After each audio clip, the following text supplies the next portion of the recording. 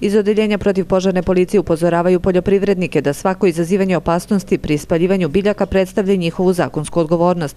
Odredbama zakona o zaštiti od požara se zabranjuje spaljivanje biljnih ostataka na otvorenom prostoru, a lice koje ovom radnjom izazove požar dužno je da nadoknadi troškove intervencije.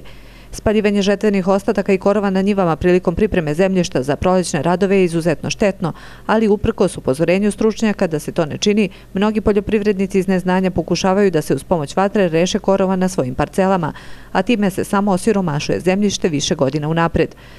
Pored toga, poljoprivrednici te radove često vrše neoprezno, ne obraćajući pažnju na posljedice koje zbog toga mogu nastupiti.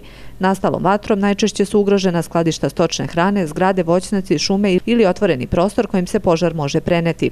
Opasnost uglavnom proizdilazi zbog nepripremljenosti biljnih ostataka za spaljivanje vremenskih uslova, odnosno smera i jačine vetra i ostavljanje vatre bez nadzora. Najvažnije od svega je znati da paljenje strnjišta nije agrotehnička mera i da nanosi štetu zemljištu. Spaljivanjem žetvenih ostataka direktno se uništavaju makro i mikroelementi u zemljištu koji se u dužem nizu godina moraju nadoknađivati mineralnim džubrivom.